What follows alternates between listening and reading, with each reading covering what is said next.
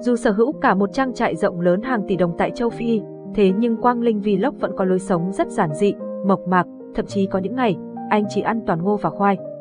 Cũng vì vậy nên khi được anh Nguyễn Tiến, một thành viên thuộc team châu Phi dẫn đi ăn nhà hàng, Quang Linh Vlog không khỏi thích thú.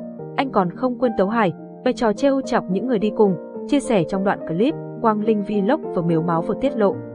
Suốt ngày trên bản ăn ngô với khoai, bây giờ đi thành phố mà dẫn vào mấy cửa hàng sang trọng như này cũng ngại đấy, tí nữa lấy bao gói về đi, dù nói là vậy, thế nhưng gương mặt anh vẫn lộ rõ sự thích thú, nhất là khi được thấy bộ dụng cụ ăn bằng vàng của nhà hàng.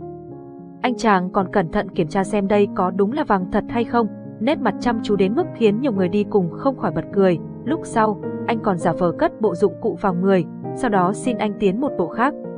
Khi phát hiện ra sự thật, anh Tiến chỉ đành bất lực cười theo trò đùa của chàng trai. đang nói, dù được dẫn đi ăn nhà hàng sang trọng, thế nhưng nam youtuber vẫn không quên nghĩ cho người dân sống ở bản, thậm chí anh chàng còn định gói cả đồ ăn đem về chia cho bà con. Trước đó, anh Nguyễn Tiến cũng đã dẫn Quang Linh Vlog trải nghiệm nhiều dịch vụ sang trọng tại châu Phi. Chỉ mới vài tuần trước, cả hai còn cùng nhau ở trong một khách sạn đắt đỏ, ngủ phòng dành cho Tổng thống ở Angola.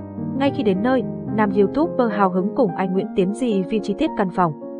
Cả hai cũng thích thú khi được ăn thử buffet theo phong cách Angola, chính lối sống mộc mạc, giản dị là điểm khiến Quang Linh chiếm được cảm tình của đông đảo fan hâm mộ.